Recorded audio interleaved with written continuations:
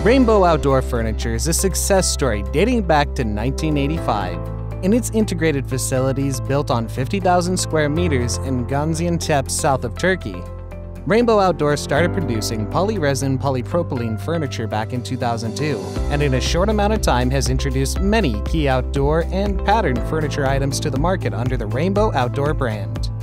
The factory originally started manufacturing stadium seatings that has been used in many arenas and facilities around the world. Key product testing and standards such as TSE norms, CATAS, and ISO documented and quality certifications are done on all commercial grade products.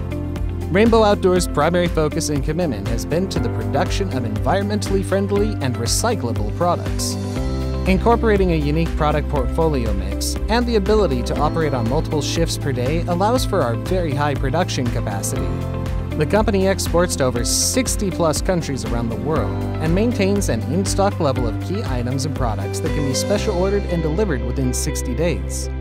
Trending colors and styles are always in our mind, and we are constantly expanding the offerings our R&D departments are always testing and creating to offer both design quality and comfort to our dealers and customers around the world. The products produced are intended for residential use, hospitality, and contract use for restaurants, hotels, and pool or beach use. The North America headquarters and warehouse are located in South Florida. Email sales at rainbowoutdoor.com for more.